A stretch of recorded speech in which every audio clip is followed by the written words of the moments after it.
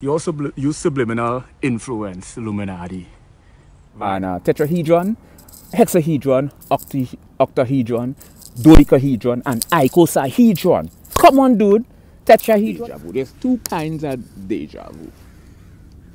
You have the physical and the non-physical. The physical. You have bipolar, the third bipolar, which is considered cyclothymia or cyc cyclothymia. There's an electromagnetic grid. Shut up, vehicle. That is gang stalking right there. Look at that big ass truck. You see my whole point? You're not a light being. A targeted individual being is a spiritual child. You're a spiritual baby. Light, light. In, being, in essence, indistinguishable qualities of our intrinsic nature. From standpoint, we could define it as um, um, a causality. Um, functionalism, um, physicalism, and all these different attributes. In physics,